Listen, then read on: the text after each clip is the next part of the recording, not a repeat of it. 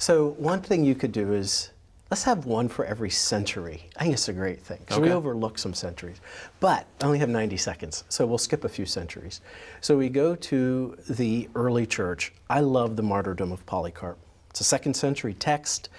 It gives us fresh insight into what was happening in the church at that time. It helps us think about what it means to be a Christian in a culture that is hostile to Christianity. Martyrdom of Polycarp, first stop. Then we'll skip a bit to the 400s. No, we'll stop and we'll, yeah, we'll go to the 400s. We'll pick up Augustine's Confessions and Leo's Tome. But Leo's Tome, you know, Tome is a big book. It's actually only a seven page letter, so we'll throw that in.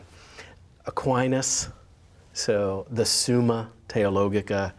I've got a beautiful copy of Latin on one side, on the English on the other, but you can you can find all kinds of versions. We come to the Reformation. I'm a big fan of the three treatises, Luther's three treatises. Uh, you have to have Calvin's Institutes. It's that mature thought of the Reformation. It's been going for a couple decades. Calvin gives it to us. We can skip on to Edwards, and I always tell people, you know, religious affections, freedom of the will, original sin. You're it's like the deep end. Start with the sermons, and I'll tell you one of my favorite Edwards sermons is a sermon called "The Most High: A Prayer Hearing God," and it is a beautiful sermon on the doctrine of God and prayer.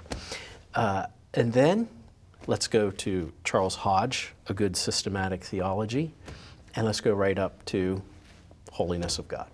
We skipped a few centuries, but it's enough to get started.